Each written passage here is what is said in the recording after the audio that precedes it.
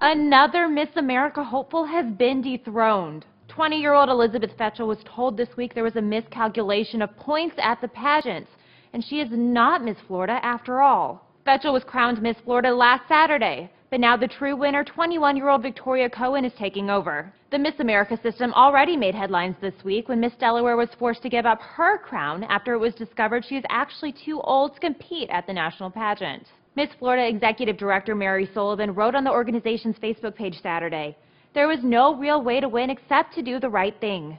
Congratulations to Victoria Cowen for an exciting year that lies ahead, and to Elizabeth Fechtel for a bright and shining future. Tampa Bay Times reports after Fechtel was told of the situation, she prayed with her family and then called Cowen and congratulated her. Now that's a class act, Liz. According to VillagesNews.com, Fechtel had already withdrawn from her University of Florida classes to prepare for the Miss America pageant when she was told of the mix-up. Fechtel has not yet made a comment to the numerous media outlets that have reached out. Cowen, the new Miss Florida, will go on to represent the Sunshine State at the Miss America pageant this fall. For Newsy, I'm Madison Burke.